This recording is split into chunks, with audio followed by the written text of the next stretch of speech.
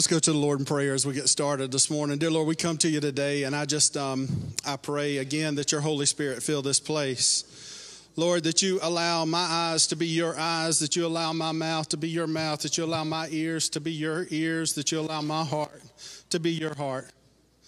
Lord, I pray that you work in and through us this morning, and Lord, that you draw us close to you. For it's in your holy and precious name we pray. Amen. I had a uh, short video that we're not going to be able to watch this morning. The title of my message is Here's Your Sign. Now, I got to thinking about this. A lot of you in the room don't remember those comments, Here's Your Sign. How many of you remember Here's Your Sign by Bill? I forget his last name. All right, so you know you know. Well, I had a nice little appropriate clip for this message, but it's not going to play this morning. But that's kind of where uh, it's kind of what come to my mind as I was preparing and going through this message because we are always looking for signs and directions in our life. Regardless of where we're going and what we're doing, we all have some signs. So I have a few signs here. Um, let's go to the second slide there. Now, my neighborhood is trying to get this slide put up, I believe. No, not that one, back one. That was the next one. there it is. There's the one. So my wife, my wife makes me walk every afternoon, and um, rumor is that they're going to try to put this sign up in the neighborhood. Heavy pedestrian traffic. All right, now the next one. Children left unattended will be sold to the circus. Now, I'm going to present this to the deacons for approval uh, at our next deacons meeting. I feel like this will help our budget process and also with volunteers getting to leave on time. So, any children left unattended will be sold to the circus. All right, now one that we go all be familiar with and that we see all the time. All right, when you see this sign, how fast should you go? All right. So that sign tells me, hey, I'm supposed to be going 55. Let me show you what my wife sees. Next slide. 85. We've uh, been to the eye doctor, we've had eyes checked, but she still sees 85 regardless of what we do. Uh, that's the sign that she sees. There are signs throughout our life and as I was driving to church this morning, you know, Romans 3:23 says that we're all sinners. So if we're all sinners, we're actually on an interstate to a place that we don't want to go. And there's a sign that says, "Hey, Jesus to the right." And we have to make a turn at some point to spend eternity with him. Let me show you this next sign that we see a lot of times. And I was thankful that I can remember this sign this past week. You know, even though low spots and some houses are damaged and there's things that happen, there's still this promise that God will never flood this earth again. And that's a sign for us. Go to the next slide, please. This is the Ten Commandments. You say, well, how, how is that a sign? Well, it's a sign. It gives us direction. Signs give us directions, right? Like we should be running 55 when we see the 55 sign. That's direction. Ten Commandments give us directions on how we live. Exodus 19 through 24, God gave Moses the Ten Commandments and laws and regulations for personal conduct and community matters. These Ten Commandments give us signs and directions for our life. Now, the next slide is signs of Jesus. And the first one is Jesus turns water into wine. And this is all in, in John. So there's seven signs in John. And, um, and so that's the first one. Jesus heals the official son. And that's actually where we go park today and go over that sign that is given to us. Jesus makes the lame walk. Jesus walks on water. Jesus feeds the multitudes. Jesus gives sight to the blind. And Jesus raised Lazarus from the dead. Jesus is our answer. He is our sign that gives us direction to our life. John 14, 6 says, I am the way and the truth and the life, and no one comes to the Father except through me. Jesus is our sign. We will be in John 46, chapter 4, verse 46 through 54 today. But before we read this scripture, I want to kind of catch you up to John chapter 4. So in John chapter 1, the very few, first few verses, the word became flesh. So Jesus became flesh. Also in chapter 1, John the Baptist is on the scene preparing the way for the Messiah. He's preparing the way for Jesus. He's telling people, hey, the Messiah is coming. Jesus calls the first disciples later in chapter 1. The wedding at Canaan, Jesus turns water into wine. Jesus cleansed the temple in John chapter 2. The Pharisees are hearing of this man named Jesus and this ministry of John the Baptist, and they're getting nervous. The Pharisees are the religious leaders. They're worried about their power and authority being affected. So they try to start conflict between John the Baptist and Jesus there in chapter 3. And John the Baptist says, No, this is the Messiah that I've been telling you's coming. He's here.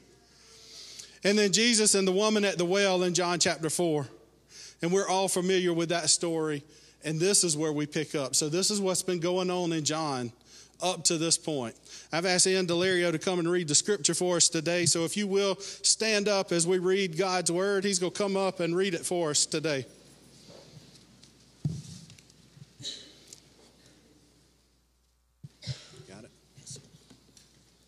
Hey, guys. So, uh, so he came again to Cana in Galilee, where he had made the water wine. And at Capernaum, there was an official whose son was ill. When this man heard that Jesus had come from Judah to Galilee, he went to him and asked him to come down and heal his son, for he was at the point of death. So Jesus said to him, Unless you see signs and wonders, you will not believe. The official said to him, Sir, come down before my child dies. Jesus said to him, Go, your son will live. The man believed the word that Jesus spoke to him, and he went on his way. As he was going down, his servants met him and told him that his son was recovering. So he asked them the hour when he began to get better, and they said to him, Yesterday at the seventh hour, the fever left him. The father knew that that was the hour when Jesus had said to him, Your son will live. And him and he himself believed, and all his household.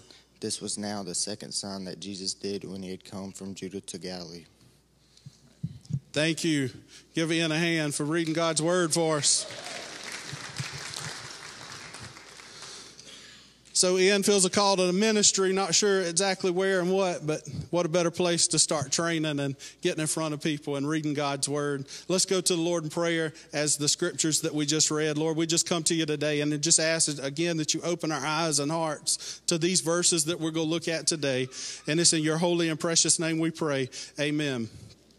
Amen. So make sure your Bible's open to John chapter 4 or that you have a bulletin or something to take notes on as we go because we're going to go verse by verse. The title of my message today is Here's Your Sign, and we should rest on our faith that Jesus is the only sign that we need.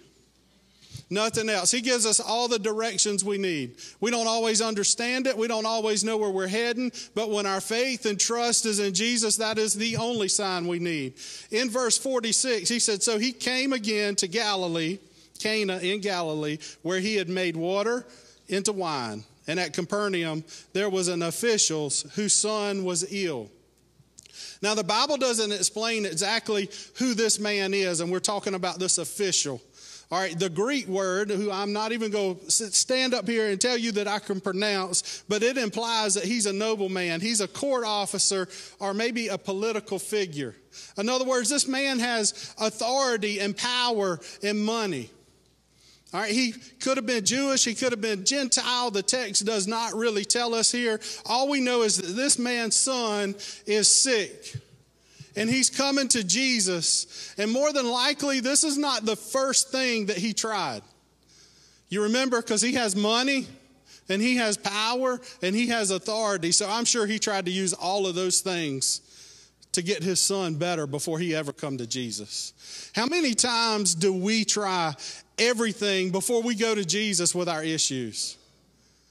You know, we're, we're the first one. We'll go to the world for answers. We'll go to pills and drugs and sex and alcohol and power and money and authority to try to solve all the problems that we have. And at the end of life, none of that matters. All that matters is what you did with the sign, Jesus. Just because you see the sign does not mean that you get into heaven. Just because you hear the sign that you hear Jesus does not mean that you get in heaven. And think about that interstate again that we're all sinful and that we're riding on.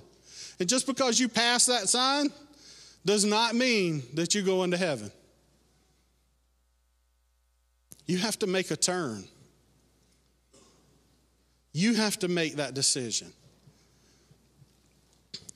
Jesus has come as my first point in these first few verses here. Jesus has come. Jesus says, I have come into this world as a light so that whoever believes in me will not remain in darkness.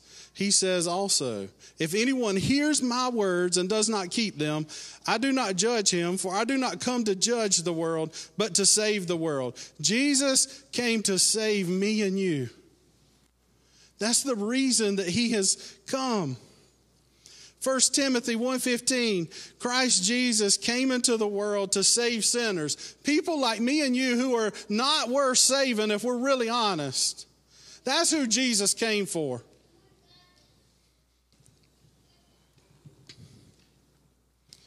Jesus is the answer. I am the way, the truth, and the life, and no one comes to the Father except through me. John 14, 6. That doesn't mean that we're good and that we don't have to do anything. We have to make the decision to hold up the sign Jesus is my Savior. And I know we get a visual with a sign over our head, but really, when you love Jesus, you don't have to hold a sign. People see it. It's visible, it's obvious. You don't have to tell them, they know when you love Jesus. Moving on to verse 47. When this man heard that Jesus had come to Judea to Galilee, do you see the official, the rich man, the one with power, the one with authority, when he heard what? When he heard Jesus had come. Now you got to remember, Jesus had only been on the scene and doing his ministry just a short time. I read the things that happened up to this point. That would be the only information that this guy would have. And this is his last ditch effort. He knows his son is sick, he's desperate. The man was referencing that he came within walking distance of his area. Now, the best that the maps tell us, he traveled about 20 miles, not in an air conditioner car, by foot. Jesus is within walking distance of you today. But we have to go to him. How many of you have heard that Jesus has come? That he has died on a cross, that he was buried for our sins, and that he rose again. I'd be willing to bet that most of you in the room are at least familiar with that story. We have heard that story before. Just like this man in the scripture. You've heard the story. Now, what must we do? The very next sentence says, He went to him. The man with authority and power went to Jesus. So he knew that Jesus had come, and now he went to him. The directions are still the same today. We know he has come. We have to go to him. This man went to Jesus. He had to make a decision. He could have stayed where he was and done nothing. You have an option to stay where you are and leave this place the same way that you walked in. You have an option to leave and do absolutely nothing. This man had the same. But you see, he was desperate because his son was sick. I'm sure that this man in authority, this had to be a humbling experience. Just like Cole had to call his daddy, hey, I have run out of gas. That's a humbling experience. This man had to humble himself to say, Hey, I don't have enough power. I don't have enough of money. I don't have enough authority to fix this issue. I must find Jesus. He puts everything aside to go find Jesus. He was desperate because his son was dying. What are you desperate for today? Now, I doubt that there's many in here that their son is on his deathbed. But there's a lot of things that we can be desperate for. You could be going through a spiritual fire. You could have pain and suffering. You could have just experienced death in your family. You could have relationship troubles with your marriage or with your family or with your friends. Your prayers might not be answered the way you think they should be answered. The outcome you hope for may not have, have come out. When it's just a, not just a weekend of trouble, but it's a year of agony and defeat. God doesn't do it the way that you had hoped for. What are you desperate for today? Because Jesus is waiting. He's here. He's within walking distance. He's waiting for us to come to Him. Jesus has come.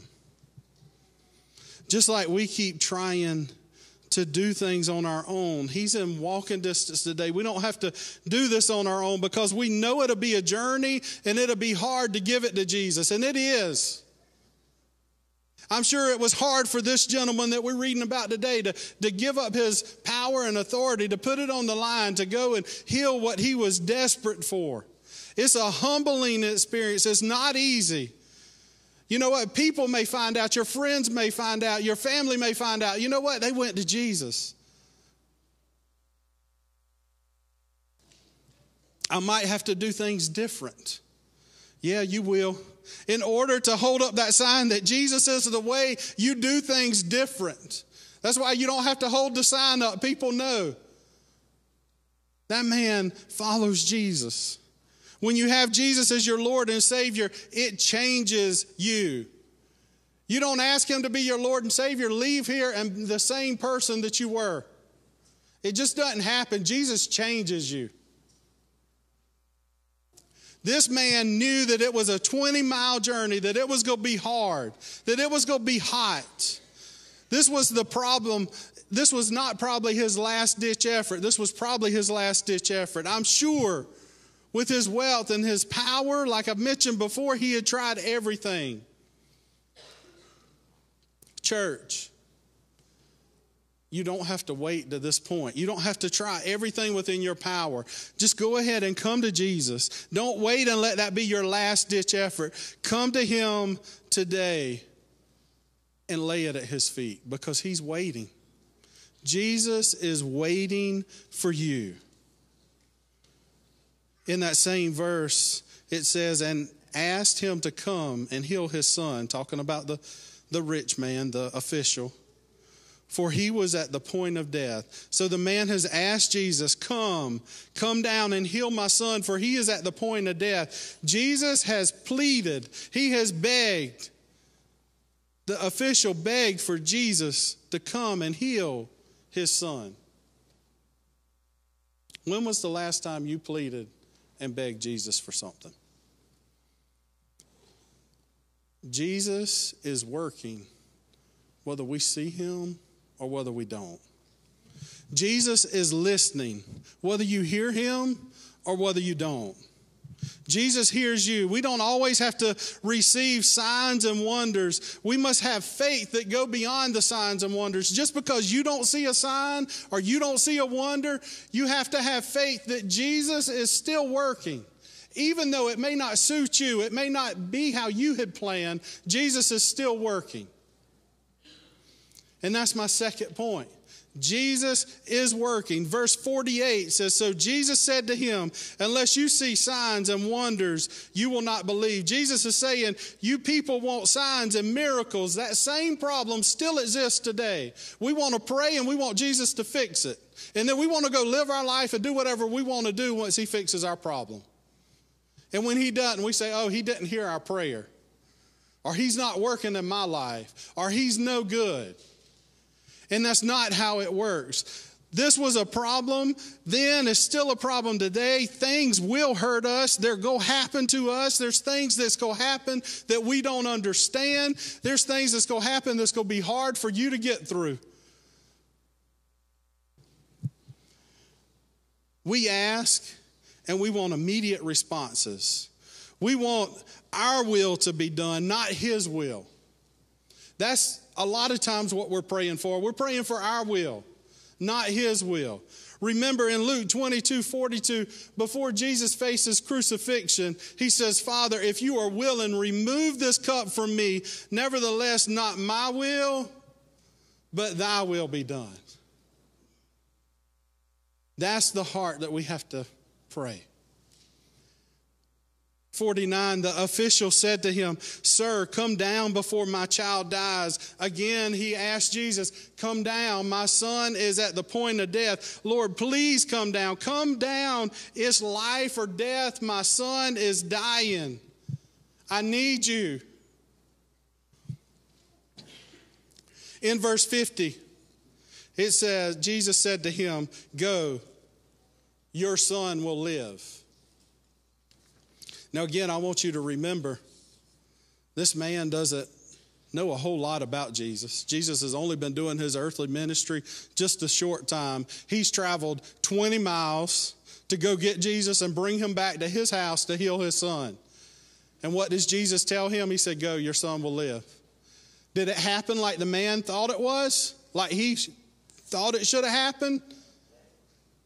He told him, Go, your son will live a 20 mile journey. I don't know that I could have turned around and went home when I was expecting one thing and got a whole different answer.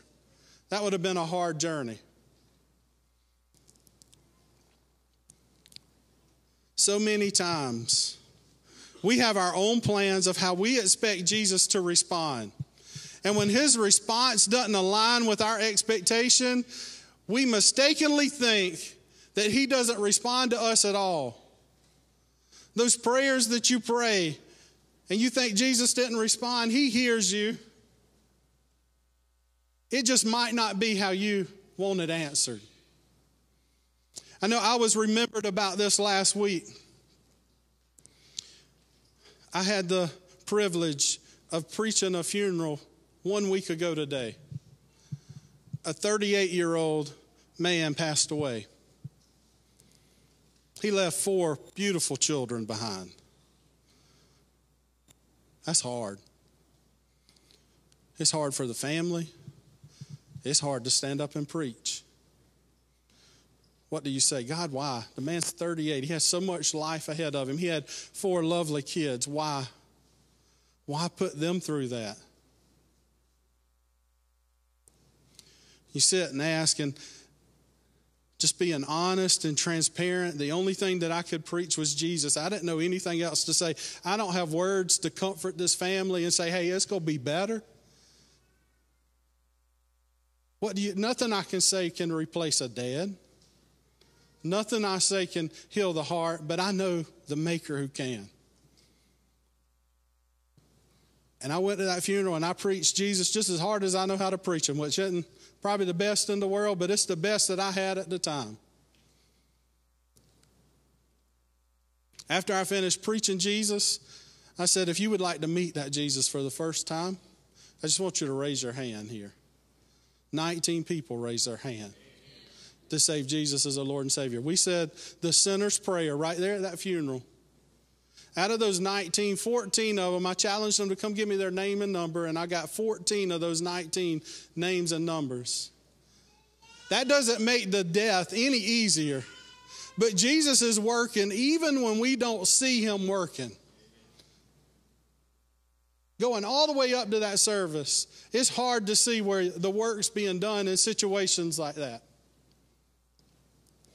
Jesus is working even if we don't see him, regardless of what you're going through, regardless of pain and suffering and death and agony and anxiety and addiction and doubt and worry and loneliness and family issues and marriage issues and relationship issues. And if I didn't name it, you fill in the blank, blank. Regardless of what you're going through, Jesus is working. Nothing you are going through is too big for Jesus. Listen what the man did. The man believed the word that Jesus spoke to him, and he went on his way. That's an easy sentence to read, but that's a hard one to apply to our life. He didn't ask questions. He didn't doubt him. He didn't what if him. He didn't say, well, what if this? What if that? He left. He believed and he left. What do you need to believe Jesus for today? This man believed him with his son's life and just Jesus' word. Knowing something and hoping for something is not the same as having faith in something. Just because you know Jesus, just because you can tell me the Christmas story and the Easter story, and you know of Jesus and who he is and what he did, does not mean that you have faith in him. Don't trust in that for faith because it's not. This does not make you a Christian. I'm not sure that all people understand that. I feel like sometimes as church we do a poor job of telling you that. Just because you know the stories, just because you come to church, does not mean that you got a seat in eternity with our Savior. Hoping you are going to make it to heaven is not enough. You must have faith in Jesus, whatever it takes. You have to have assurance in your salvation. And that's what you need today. I sit down with a lot of people and talk with them through their spiritual life. And I never belittle a spiritual experience when they were younger or smaller or whatever age. But what I want you to understand is you need to have assurance in your salvation. You need to have assurance if you take your last breath right now in First Baptist Barnwell that your eternity's in heaven. It doesn't matter what you did when you were seven or eight. I need you to have assurance today that you're good. If you're not, if that looks like a rededication or a baptism, or maybe, hey, you have to even just question, was I ever saved? Do that. Don't leave today thinking maybe I'll get into heaven. That's not good enough. Come to this altar, pray, leave it at Jesus' feet. Whatever you need to do, make this happen. Be able to walk away today with His word and His promise that if you put your faith and trust in Him, that you're going to spend eternity in heaven. We leave with the same word that that man in the scripture left with. Do not, church, do not almost make it to heaven. That's no good. Almost works for a lot of things in life, but this time it won't work for you. You can't almost make it. Or maybe I will. Maybe and almost just are not good enough today, or ever will be good enough. Don't leave today unless you know that you know that you know Jesus is your Lord and Savior. Verse 51 As he was going down, his servants met him and told him that his son was recovering. This man had servants, which confirms what I've been telling you the whole time that he was wealthy, that he had authority and power. He was going back home with just Jesus' word Your son will live. Whatever trouble you have and walked in here with today, you can leave with the confidence that Jesus has a word for you today. Verse 52 So he asked them the hour he began to get better. And they said to him, Yesterday at the seventh hour, the fever left him. The boy was healed the moment that Jesus spoke. Jesus' power is not limited to space or distance. So if you feel like you're 127 miles from Jesus, that's okay. Because space and distance does not matter to him. He can do a miracle in your life today.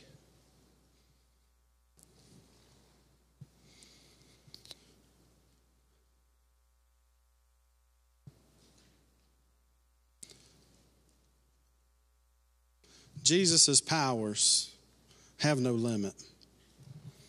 Have you allowed that space and distance between you and your relationship with Jesus? You know, it's, it's so awkward, especially Christians, when we start sin, sinful lifestyles, we run from Jesus. As we get sin in our life, we just run from Jesus. And really, when we're struggling with sin, we should run to Him instead of away from Him.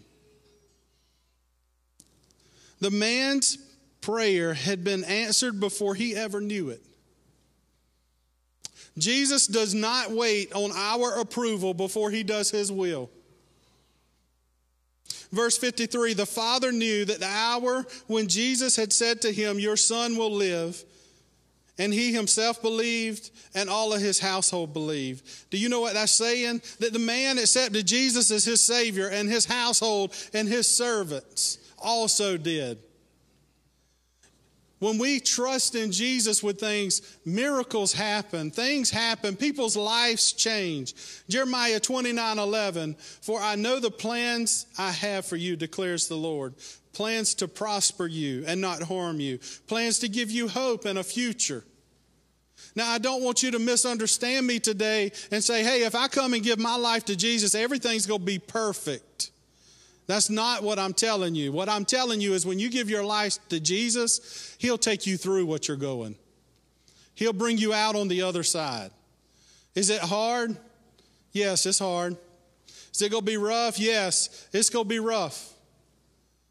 But Jesus is the sign that you need to leave here with today, regardless of what you're facing. Verse 54 this was now the second sign that Jesus did when he had came from Judea to Galilee. As we close, I want to just repeat some of the things that we covered today.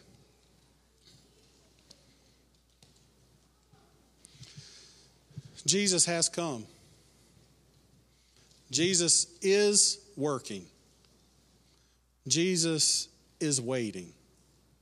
What's he waiting for? He's waiting on you. What are you desperate for today? Satan has a strategy, and it's simple it's to make sin look normal and righteousness to look weird.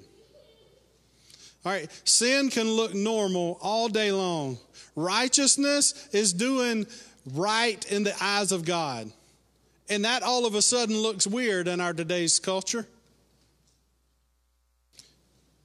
Righteousness happens, doing right in the eyes of God, you know when that happens?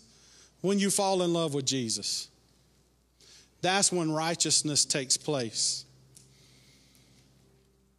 Jesus brings life when we see only death. What are you desperate for today? Are you the one going through that fire, through that pain and suffering, through death, through relationship issues? Do you feel like your prayers are going unanswered, unheard? Did you have hope for an outcome and it just didn't happen? Are you going through a season of agony and defeat?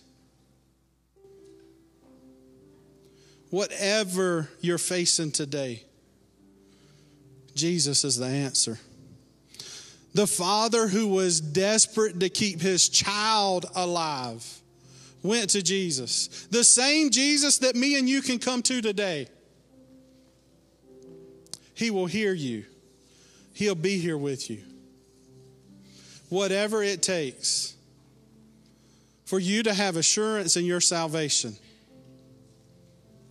Whatever you need to do today. If you need to come up front and pray with me, if you need to come pray by yourself, if you need to rededicate your life, if you say, hey, I want to be baptized again, if you just need to come to the altar and play, whatever you need to do, make it happen today.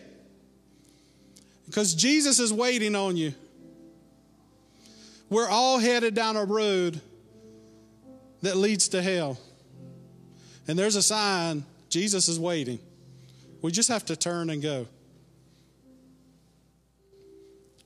This worried and fearful father ran to the same Jesus that you can run to today. He's waiting on you. dear Lord, as we come to a time of response. Scripture tells us that your son is waiting to receive us, regardless of what we've done, where we've been, what we're going through. Nothing is too big for Jesus. This altar is open for anyone, whether this is the first time you've stepped foot in this church or whether you've been here as long as you can remember.